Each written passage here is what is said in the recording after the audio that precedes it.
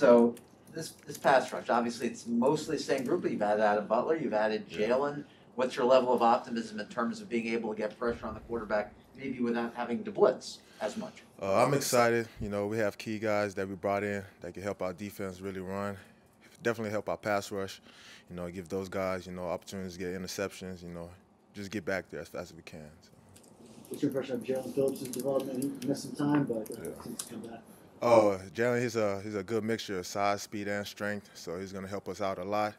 Uh, I'm I'm excited for him. I'm excited to see him out there um, doing his first action. I know I saw him preseason, but you know, regular season where it really counts. So I'm excited just to see him go out there and work. So. You guys started to build a bond together, being the two pass, you know, main pass rushers probably on the edge.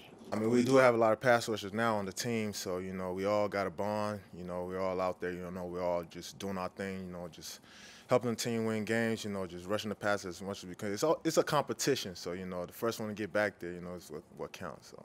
Is there a bet? I guess who gets the most sacks this year? No, I wouldn't say there's a bet, but you know we, we thrive on competition. That's why Flo got us all in here because we all like to compete. So you know.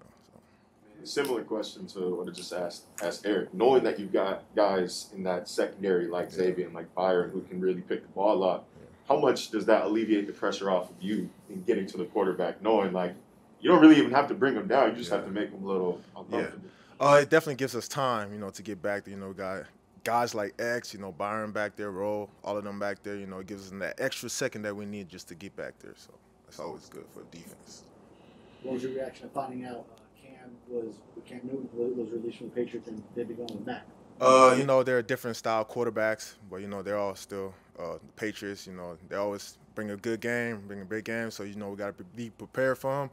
But not knowing exactly what he really does because he's still a rookie. Um, but you know, we got to watch some film on him. You know, I got to go back watch some college tape on him. You know, see what he struggled with and what he's good at. Even though it's a different scheme with uh, the Patriots, but you know, we just got to be prepared for him now instead of Cam. So.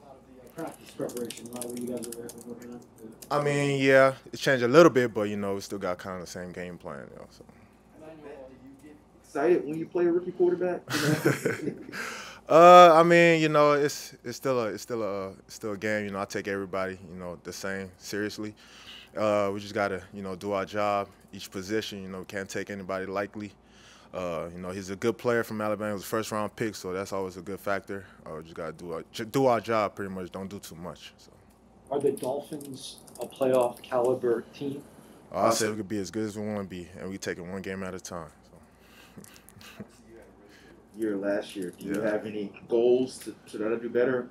Oh yeah. the- Um, coming to the scene, you always have goals. You know what you try to do or what you want to do.